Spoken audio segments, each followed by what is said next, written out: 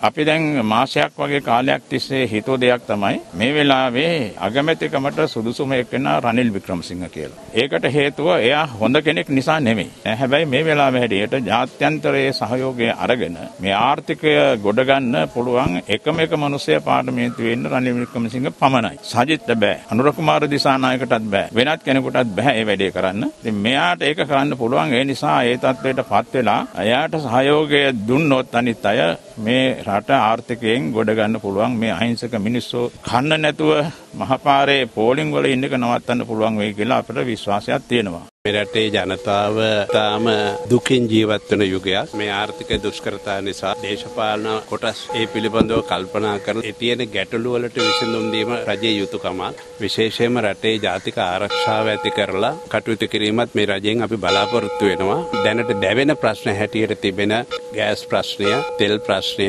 බෙහෙත් ප්‍රශ්නය මං හිතනවා ඒක රජයෙන් සිදු කරાવી කියලා මගේ විශ්වාසයක් තිබෙනවා. එහෙම නැත්නම් මේ දේශපාලන වෙනස් වීම් වල සත පහක වැඩක් වෙන්නේ නෑ අපිට.